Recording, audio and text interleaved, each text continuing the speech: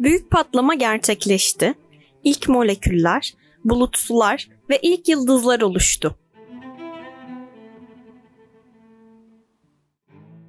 İlk süpernovalar patladı, ilk nötron yıldızları oluştu, ilk kara delikler oluştu. Şimdi galaksilerin oluşmasının zamanı geldi.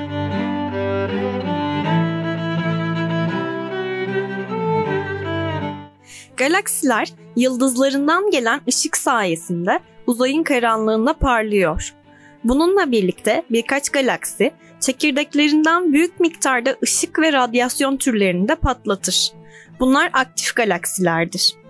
Aktif bir galaksinin merkezi veya çekirdeği şaşırtıcı derecede büyük miktarda elektromanyetik radyasyon yayar. Bu enerji sadece görünür ışık olarak değil, aynı zamanda radyo dalgaları, X ışınları, ultraviyole radyasyon ve gama ışınları olarak da uzaya taşar.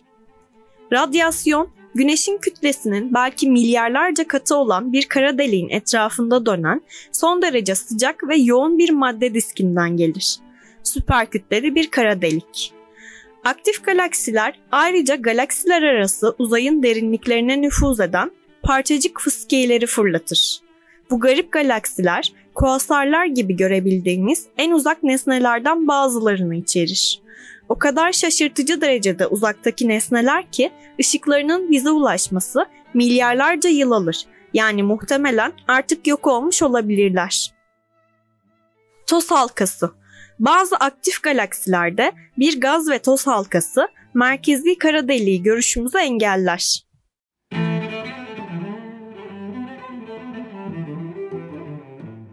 Toplama diski Kara deliğin yer çekimi tarafından parçalanan yıldızlar arası gaz ve yıldızlar merkezin etrafında spirallenen bir enkaz diski oluşturur. Diskin iç kısmı inanılmaz derecede sıcaktır ve radyasyon yaymasına neden olur. Süper kütleli kara delik Galaksilerin güç merkezi Güneş'ten milyonlarca veya milyarlarca kat daha büyük bir kara delikten oluşur kara deliğin güçlü yer çekimi etrafındaki diskten malzeme çeker.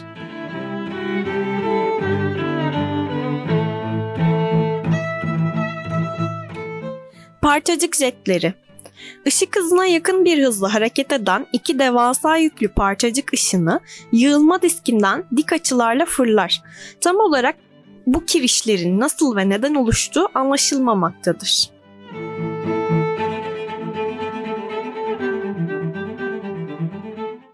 Yapı Aktif bir galaksi alışılmadık derecede parlak merkezi ve uzaya fırlayan iki parçacık jeti dışında diğer galaksilere çok benzer. Bazı aktif galaksilerin radyo lobları da vardır. Bunlar jetlerin uçlarında radyo dalgaları yayan dalgalı bulutlardır. Çekirdek Galaksinin kalbi 10 milyarca kilometre genişliğinde sıcak, parlayan bir madde halkasıyla çevrelenmiş süper kütleli bir kara deliktir.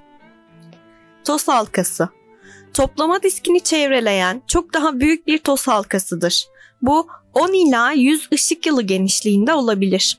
Üstünde ve altında küçük gaz bulutları var. Bütün galaksi Tüm galaksi 300 bin ışık yılı genişliğinde olabilir. Ancak parçacık jetleri daha uzundur. Galaksinin dışındaki madde ile etkileşime girdikçe uçları loblara doğru genişleyebilir.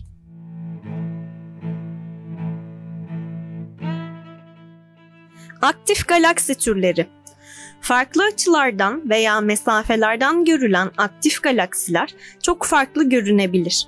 Sonuç olarak gökbilimcilerin farklı nesnelere benzeyen ama aslında aynı ailenin parçası olan galaksilere ilişkin farklı isim önerileri vardır. Radyo galaksileri bir radyo teleskopuyla görüldüğünde radyo galaksileri lob adı verilen devasa dalgalı bulutlarla çevrilidir. Herkül A'ya ait olanlar yukarıda, Samanyolu galaksimizden yaklaşık 10 kat daha uzundur.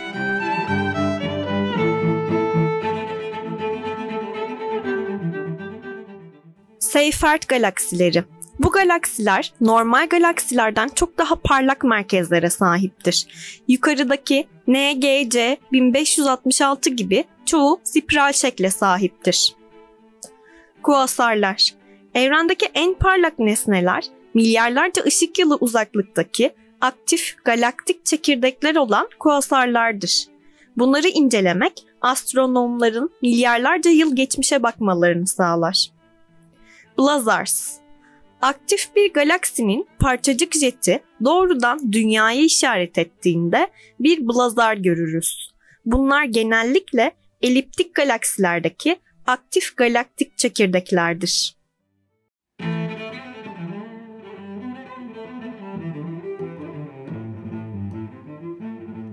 Neredeyse tüm yıldızlar gibi Güneş de yer çekimi tarafından bir arada tutulan dev bir yıldız koleksiyonuna aittir. Bir galaksi. Galaksimiz evrenin genişliğinde yüzen yüz milyarlarca galaksiden sadece biridir. Bulutsuz, karanlık gecelerde bazen gökyüzünde bir grup samanyolu ışığı görebilirsiniz. Işık galaksimizin ana bölümü olan Samanyolu'ndaki yıldızlardan geliyor. Samanyolu disk şeklindedir. Ancak içinde olduğumuz için ışığını bir bant olarak görürüz. O kadar büyüktür ki boyutu hayal gücüne meydan okur. Samanyolu'nu bir uçak hızıyla geçmek 150 milyar yıl, en yakın yıldıza bile ulaşması 6 milyon yıl alır.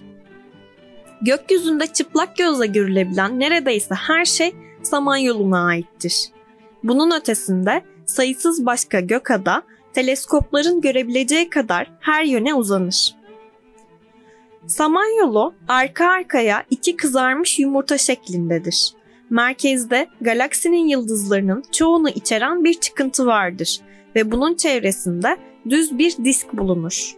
Disk merkezden dışa doğru kıvrılan spiral kollardan oluşur. İki büyük sarmal kol ve birkaç küçük kol vardır. Merkezi çıkıntının kalbinde Güneş'ten 4 milyon kat daha büyük bir kara delik vardır. Samanyolu yaklaşık 200 milyar yıldız içerir.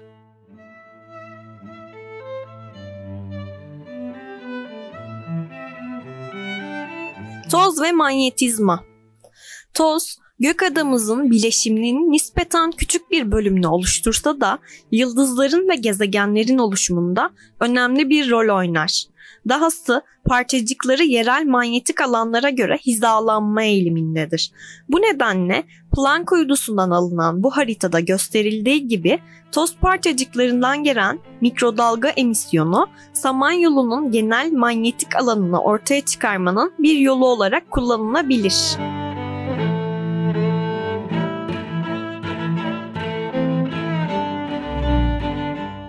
Doppler etkisi ve kırmızıya kayma Doppler etkisi bir gözlemcinin yanından geçen ses veya ışık gibi dalgaların dalga boyu ve frekansındaki bir kaymadır.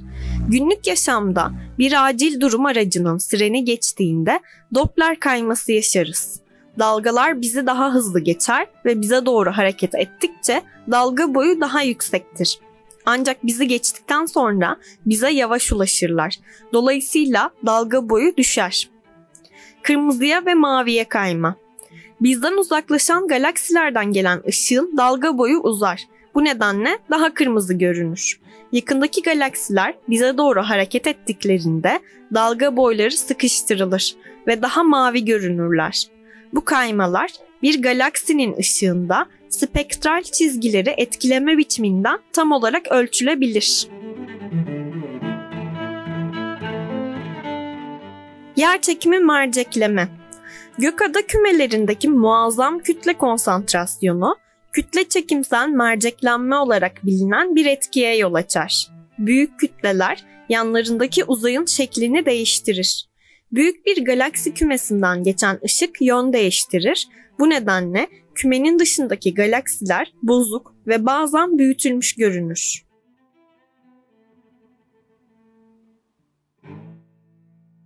Kartal bulutsusu. Galaksimiz boyunca parlayan gaz ve toz bulutları bulunur. Kartal bulutsusunun bu görüntüsündeki karanlık sütunlar Güneş sisteminden binlerce kat daha büyük toz ve hidrojen bulutlarıdır.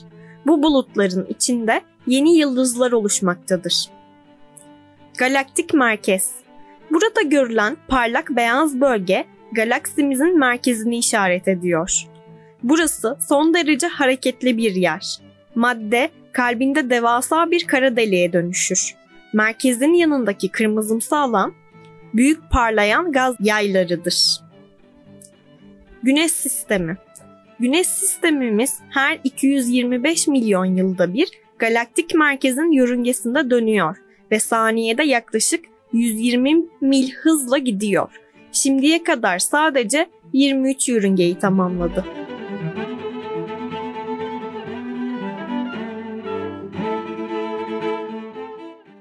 Galaksi şekilleri Galaksiler net bir şekli olmayan bulanık bulutlardan zarif, kıvrımlı kolları olan güzel spirallere kadar çeşitli şekil ve boyutlarda bulunurlar. Başlıca gökada şekli türleri aşağıda gösterilmiştir. Şekilleri ne olursa olsun tüm galaksiler dönerler. Tek tek yıldızlarının hepsi merkezin etrafında aynı hızda dönmezler. Bir galaksi yörüngesindeki yıldızlar olarak trafik sıkıştığından geçen arabalar gibi kalabalık alanlara girip çıkabilirler. Bu kalabalık alanlar bize sarmal kollar olarak görünür. Sarmal.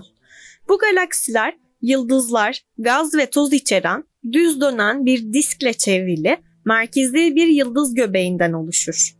Diskteki malzeme dışa doğru kıvrılan iki veya daha fazla spiral kolda yoğunlaşmıştır. Bode Gökadası olarak bilinen buradaki sarmal gökada 12 milyon ışık yılı uzaklıkta, bizimkine nispeten yakındır. Çubuklu sarmal Bu tür düz bir yıldız, toz ve gaz çubuğunun merkezden ge- geçerek kavisli veya spiral kolları birleştirmesi dışında spirale benzer. Kendi gökadamız, Samanyolu, NGC 1365 gibi çubuklu sarmaldır. 200 bin ışık yılı genişliğindeki NGC 1365 bilinen en büyük galaksilerden biridir.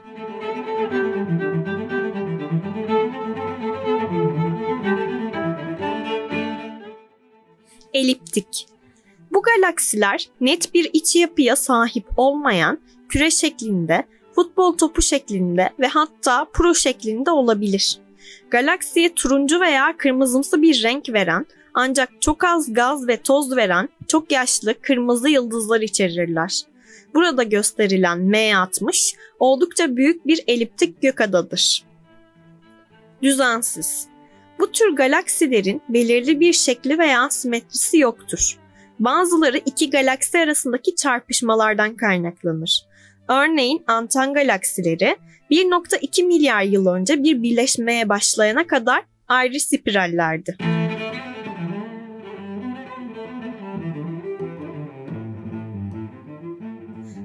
Scutum Centaurus kolu. Bu galaksimizin iki ana sarmal kolundan biridir. Merkez çubuğa katıldığı alan yıldız oluşturan bulutlar bakımından zengindir.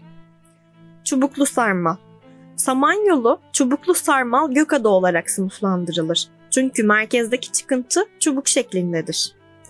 Orion kolu Güneş sistemimiz yaklaşık 10 bin ışık yılı uzunluğundaki bu küçük kolun iç kenarına yakın bir yerde bulunuyor. Gece gökyüzündeki en parlak yıldızların çoğu bu kolda bulunabilir. Carina yay kolu Orion kolunun içinde yer alan bu küçük sarmal kol parlak bulut sular ve yıldız kümeleri açısından zengindir. Perseus kolu Samanyolu'nun önemli bir koludur. Yaklaşık 100 bin ışık yılı uzunluğundadır ve güneş sistemimizi de içeren Orion kolunun dışında kıvrılır. Pek çok yıldız kümesi ve bulutsu Perseus kolunu işaret eder. Cetvel kolu Samanyolu çubuğunun merkezinden çevresine doğru uzanan küçük bir sarmal koldur.